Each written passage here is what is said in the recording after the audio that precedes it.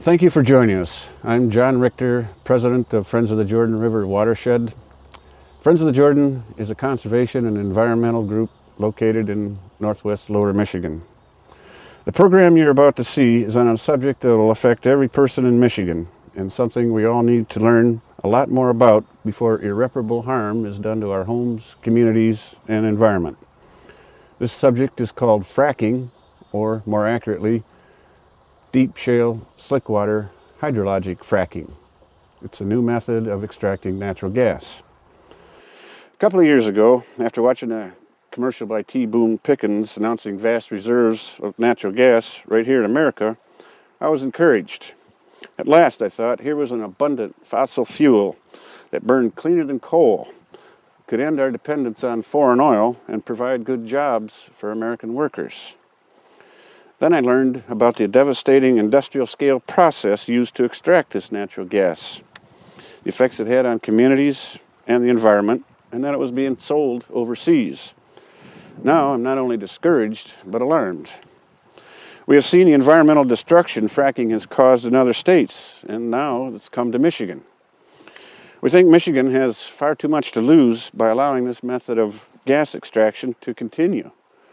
But first, we, under, we need to understand how fracking works and what its true costs are. The series of videos we have prepared are segments of a two-hour presentation by Dr. Anthony Ingraffea from Cornell University. Dr. Ingraffea is a world-renowned expert on natural gas extraction and provides us with a sound scientific explanation of fracking. This video should be well worth your time to watch. You can find much more information on this subject on our website at friendsofthejordan.org or another don'tfrackmichigan.org. Thanks for watching.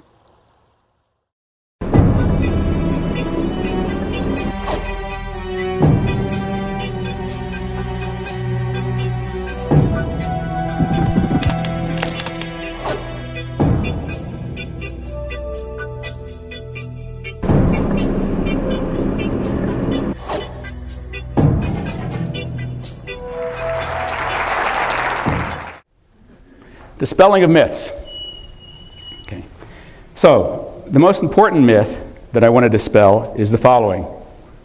Since 1947, over 1.4 million gas and oil wells in the United States have been hydraulically fractured. What's the big bus about and fuss about this one? Why is this different? Why is what's happening in the Marcellus different? Is it? And the answer is yes. And I have to explain to you why it is substantially different. What we're talking about is not conventional gas development, we're talking about unconventional gas development. Well, what's in that word? Everything. So I have to tell you why it's unconventional. And I have to tell you that it would be technically and financially inadvisable for an operator to try to produce gas from an unconventional source like the Marcellus if that operator had not acquired relatively recently four technologies and combined them. So, unconventional gas development from shales is a relatively recent enterprise, fewer than 15 years old, the result of American enterprise that combined four separate technologies in a way that unlocked unconventional gas shale. Okay, so, this has not been going on since 1947. It's an entirely different beast, and I'm about to show you why. What are the four technologies? I'll describe them with pictures and with words. So, first, directional drilling. Uh, back in the 80s, when we were working on this, we, meaning I with Schlumberger, we called it deviated well bores. But that has certain overtones. So it later became directional drilling. Directional drilling means that you can drill a hole in any direction you want. Not necessarily vertical, not necessarily horizontal, but literally in any direction you want. Not just one curve, but multiple curves. Whatever the technology and the geology let you get away with, you can do it. Well, why is that one of the four necessary technologies needed to unlock unconventional gas? I'll use a cartoon you've all seen before from geology.com. It's a cartoon, it's not to scale. Uh, where we're sitting right now, the Marcellus is probably six to 7,000 feet down. So this is six or 7,000 feet. But the thickness of the shale layer known as Marcellus is only a few hundred feet. So maybe 10 times the height of this room. So why would you go through the bother of drilling a hole seven or 8,000 feet down and your well is only going to come in contact with your resource for a few hundred feet? That doesn't seem like a good thing to do unless all the gas down there is in one pocket. So if all the gas was right here, stored in one big pocket, all you need is a vertical well to punch through it. That's conventional gas development. But that's not what's down there. The gas that's down there is everywhere in the shale. It's not, it's not confined into one pocket, into a graben, into a trap, like it is in sandstones and limestones. But in shale, the gas is relatively uniformly distributed throughout that layer of rock. That direction, that direction, that direction, and that direction. So if you drill a vertical hole and you only expose the well to a few hundred feet, you're only going to get the gas out of a few hundred feet of, ga- few hundred feet of rock. With directional drilling, you can turn and go in any direction the rock is going. It might be horizontal, it might not be. Whatever direction the geology says the rock is going, that's the direction you go. And you can go a long way. So engineers don't like to use words like tall, short, long, fast. We always try to make sure we know what we're talking about. Long means a mile? Two miles? What's the record right now? In, in any, is there a shale formation anywhere in the world where there are two mile laterals? Yes. In Pennsylvania, the record right now is about 7,400 feet, mile and a half. So what that means is you now have a well that has long exposure to the inventory. The inventory is where you have your product. The product of a gas operator is gas. The inventory is everywhere, therefore you have to go everywhere to get it. Got that? So you can see why directional drilling is important because of the geology. The shale layer is thin, and because of the way nature put the gas in the shale, it's everywhere. Go back to the second technology high frac fluid volumes. Conventional gas wells typically use less than 100,000 gallons of fracturing fluid. Now, for those of you who don't know anything about fracturing, you might think 100,000 is a big number. But as we proceed tonight, you're going to see 100,000 is a very small number, unless it's the amount of money in your checking account. So, uh, high volume in New York State is defined as anything over 300,000 gallons. And as you'll see later in the talk, typically for unconventional shale wells, we're talking millions of gallons of frac fluid. Why? Well, because we can drill through a mile, a mile and a half, or two miles of shale, we have a really long well. The well could be three or four miles long. Just to get all that fluid down there it takes a lot. Fill up a, a pipe that's only six inches in diameter that's three miles long still takes a lot of fluid. But you're trying to create many, many, many, or recreate many, many fractures. Show you a picture of what I mean.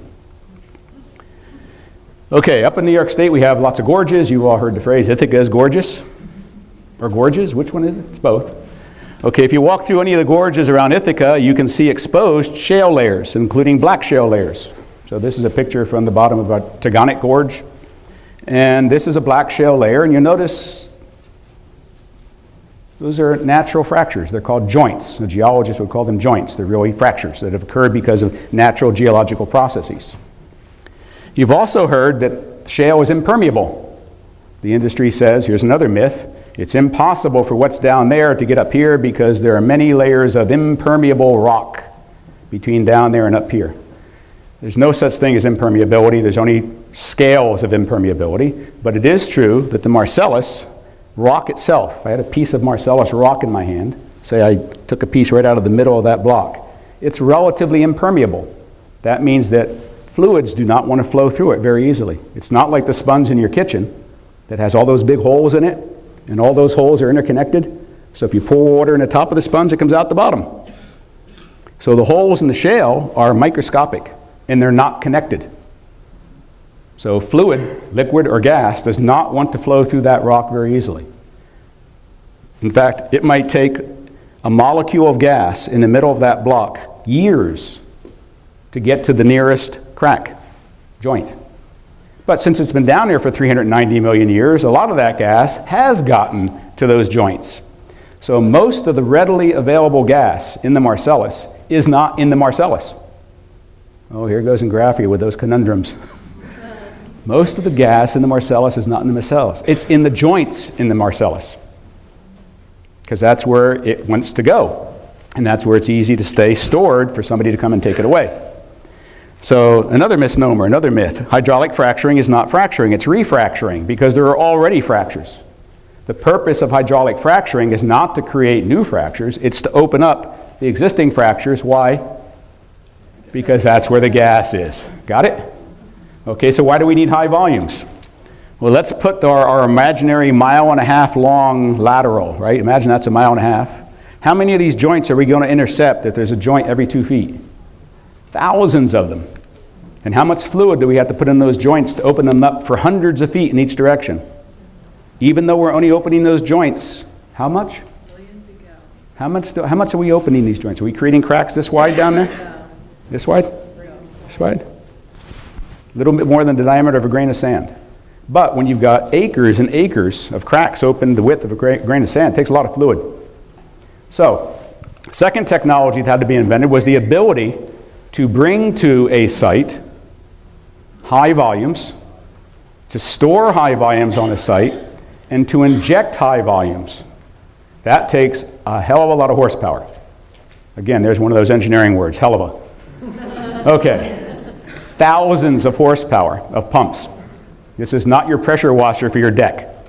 Okay? We're talking thousands of horsepower needed to pump those high frac fluid volumes down two or three miles along a pipe that ultimately is only the, the casing, the production casing, the stuff that's down there on the lateral through which the gas is going to flow back. What's the diameter of that pipe? Four to six inches. Okay, so here we go with my favorite analogy garden hose. You connect your garden hose to your faucet. Is the rate at which the water comes out the end of the garden hose the same as the rate at which it comes out of the faucet? Yes or no? No. if you make your hose long enough, what comes out the other end? Nothing. Why? Friction. So there's pressure loss and flow loss as you're trying to force a fluid through a hose, just like there is as you're trying to force a large volume of fluid, millions of gallons, through a six inch diameter pipe over three miles at what pressure? 6,000 pounds per square inch. Or more, depends upon the geology and the depth, up to 10,000 pounds per square inch. So you need a lot of horsepower to do that. Okay. I'll show you a picture later on where there's 40,000 aggregate horsepower involved in one frac job. Okay. But now we've invented another problem. We took these two technologies, directional drilling gets us long exposure, ability to inject high volumes of fluid over long distances through small diameter pipes in a relatively brief period of time at very high pressures. Friction. We got to make the water slick. That's where the slick water name comes from. You have to lubricate the water, which is a concept that most people think is crazy. Isn't water slippery? It is when it's frozen. okay? Um, water is inherently slippery, but it's not slippery enough. Same thing with the water going through your garden hose. So someone had, some chemists working for gas companies had to invent chemicals that they could add to water that effectively reduce the friction of the water passing through the casing, and in fact reduces the friction between the water molecules themselves. It's like lubricating your automobile engine, right? So that was the th- next technology. You can't get all that high fluid volume at the high pressure down that long pipe of small diameter in a relatively short period of time unless you reduce friction, and that's slick water. Okay. Fourth technology, multi-well pads. Pad, as you know, is an area where there is drilling and fracking going on. A number of acres that have been cleared, industrialized. Conventional wells typically have one well per pad. Why? I just told you the answer. It's all in the geology and how the gas is stored. Why do you only need one well in a pad? Because it's either down there or it's not. it makes no sense to drill one well here and then move 10 feet away and drill another one. You might want to move a mile away because you missed. You got a dry hole. Right? You thought there was gas down there, you didn't get it. But where's the gas in the Marcellus? Everywhere. So if you're going to go through the effort of clearing an area and setting up shop with heavy industrial activity where you're going to drill a well in that direction, why not drill another one in that direction? And then move 17 feet and drill another one in that direction and another one in that direction. And then move 17 feet, excuse me, I'm getting close here, and do that until economically you say, well, I've gotten the most out of this one pad, I'll move on to another pad. So the idea of drilling more than one well from a pad, again, is dictated by the geology, the gas is everywhere, and dictated by economics, and controlled by whom? Gas companies, and DEP, and who's leasing the land? Y'all. Right? So if a gas company wants to come and put a pad here and drill eight or nine wells that way, eight or nine wells that way, that's going to be a pretty big pad, and it's going to take up a lot of land underground. It's going to drain a large area, square miles. And they have to have permission from landowners to do that. Or they have to not get permission and still do it, depending upon the laws of the land. Depends upon whether you're in New York State or Pennsylvania. Okay? So, those four technologies are recent, relatively recent. None of those technologies was around in 1947 when hydrofracking first became available. The vast majority of the gas and oil wells that have been fracked in Pennsylvania were fracked conventionally. All the gas and oil wells in New York were fracked conventionally. So, how old are these technologies? This is data from the New York State Supplemental, Supplemental Generic Environmental Impact Statement. Okay? Uh, this is a table, so it's not mine. Let's see. Slick water fracturing fluids introduced 1996. That's not 1947, that's a myth. We don't frack Marcellus wells with traditional fracking materials. Gel fracking, gel gas fracking, sometimes hybrid fracking, yes, but usually slick water. Not always, but most of the time. Uh, multi-stage slick water fracturing of horizontal wells. Oh, combined slick water, high volume in a horizontal well. 2002, down into Barnett. The first hydraulic fracturing of the Marcellus Shale, Pennsylvania, 2003, Washington County. And finally, use of multi-well pads and cluster drilling, Pennsylvania, 2007. So this is all relatively recent. It's not, a myth is that the industry will say, we've been doing this for millions of times over 60 years, what's the hubbub? The hubbub is it's relatively new technology. You're still inventing it. You're still evolving it. It's still an industrial process that has yet to reach a steady state operating procedure because every well is going to be different and every formation is going to be different and capital and leasing control what they do. This is going to be a constantly evolving technology. This will never be a technology in which a building goes into your zone, your industrial zone, and you build toasters. Same thing over and over and over again. It's constantly going to evolve because that's what Mother Nature is going to force the industry to do. All these were natural evolutions in response to geology and gas distribution. Got it? Now we know what we're talking about. Unconventional gas development. Large volumes, very large volumes, 100 times more than previously used. Multi well pads, horizontal drilling, necessary to add different chemicals to the fracturing fluid than we've used before because of requirements of that massive hydraulic fracturing process. Okay. So that's what the hubbub is about. Now we're saying, you, I, maybe, we're all saying, well, is that, is that new technology safe enough for us? Are the risks acceptable? Because it's a new technology.